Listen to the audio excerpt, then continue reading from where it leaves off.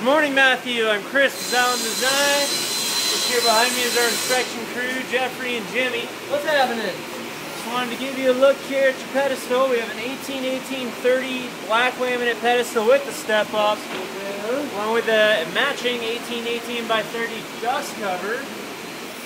Uh, we didn't use fancy brown plastic. That is paper for you to peel off when it gets when it gets to you, just to prevent scratching and during shipping and all that.